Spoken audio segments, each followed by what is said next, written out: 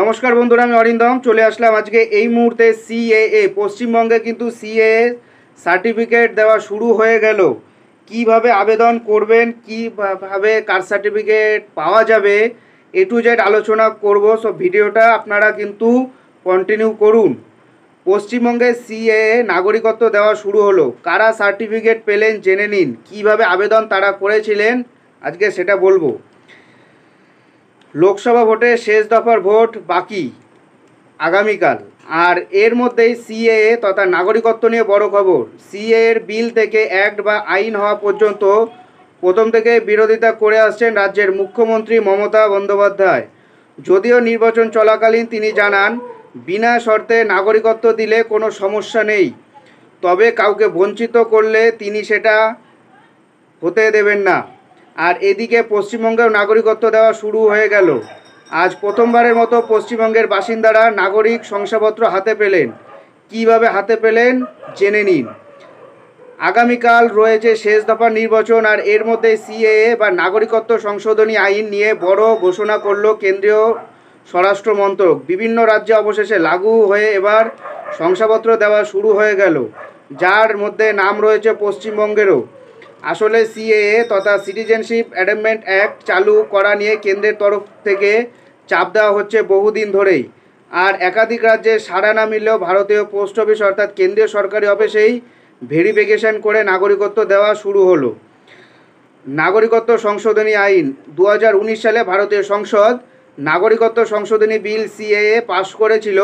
এই বিলের প্রধান লক্ষ্য ছিল পড়শি দেশগুলো থেকে আসা উপযুক্ত ব্যক্তিদের ভারতের নাগরিকত্ব দেওয়া হবে। অর্থাৎ এই আইনে দু হাজার চোদ্দ সালের একত্রিশে ডিসেম্বর বা তার আগে ভারতে পালিয়ে আসা অমুসলিম উদ্বাস্তুদের ভারতের নাগরিকত্ব দেওয়া হবে।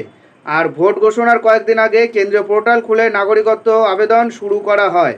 আর প্রথমে অনেক দিন আবেদন করতেও দ্বিধাবোধ করলেও ইতিমধ্যে যারা আবেদন করেছেন তারা, তাদের কিন্তু ভেরিফিকেশনের জন্য ডাকা হচ্ছে স্থানীয় পোস্ট অফিসে।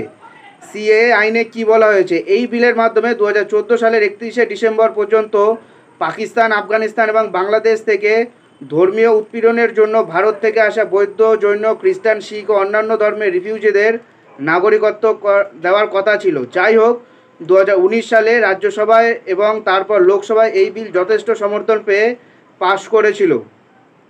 শেষ পর্যন্ত রাষ্ট্রপতি রামনাথ কোবিন্দের অনুমতি লাভ করে এই সিএএ বিল পাশ হয় এবং আইনে পরিণত করার সিদ্ধান্ত নেওয়া হয়। সিএর মাধ্যমে নাগরিকত্ব পেতে কীভাবে আবেদন করবেন? শরণার্থীদের নাগরিকত্ব দিতে প্রতিটি রাজ্যের জন্য নির্দিষ্ট পোর্টাল চালু করেছে কেন্দ্র। জেলাভিত্তিক বিভিন্ন ডিস্ট্রিক্ট ম্যাজিস্ট্রেটদের হাতে এই আইন বলবৎ করার ক্ষমতা দিয়েছে রাষ্ট্রমন্ত্রক। অর্থাৎ কোনো আবেদনকারী আবেদন করার পরে তাকে ভেরিফিকেশনের জন্য ডাকা হবে। তিনি যে দু হাজার চোদ্দ সালের একত্রিশে ডিসেম্বরের আগে এসেছেন সেটা জানাতে হবে। প্রয়োজনে যাচাই করতে হবে সংশ্লিষ্ট আধিকারিককে। এরপর বিবেচিত হলে তিনি নাগরিকত্ব পাবেন।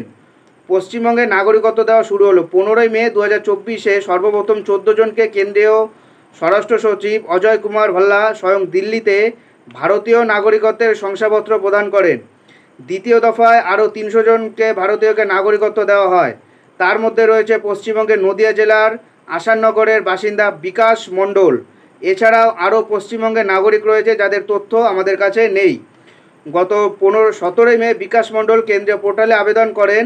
এরপর সাতাশে মে তাকে কৃষ্ণনগর পোস্টাল সুপারিনটেন্ডেন্ট অফিসে ভেরিফিকেশনের জন্য ডাকা হয়। এরপর আসল নথি বিবেচনা করার পর গতকাল তিরিশে মে ভারতের নাগরিকত্ব পেলেন। প্রসঙ্গত তিনি জানান, গত দুহাজার বারো সালে বাংলাদেশে ঝিন্দাই থেকে পুরো পরিবার নিয়ে আসানসোলে আসেন। দীর্ঘ বারো বছর পর তিনি এই শংসাপত্র পেয়ে খুব আপ্লুত এবং খুব খুশি। সো বন্ধুরা, আপনারাও কিন্তু আস্তে আস্তে আপডেট কর আপনারাও কিন্তু আপডেট করুন মানে আবেদন করুন সিএটা নাগরিকত্ব কারার বিল নয়, নাগরিকত্ব দেওয়ার বিল। এখানে কোনো ডুপ্লিসিটি নেই, কারও নাগরিকত্ব যাবে না। আমি বলছি, আপনারা আবেদন করুন, কোনো সমস্যা নেই, নাগরিকত্ব আপনাদের দিয়ে দেওয়া হবে। এটাই হলো আজকেকার আপডেট এরকম আপডেট পেতে হলে চ্যানেলটা সাবস্ক্রাইব করে আমাদের পাশে থাকুন। দেখা হচ্ছে পরের ভিডিওতে, ভালো থাকবেন সবাই। নমস্কার, জয় হিন্দ, বন্দে মাতারাম।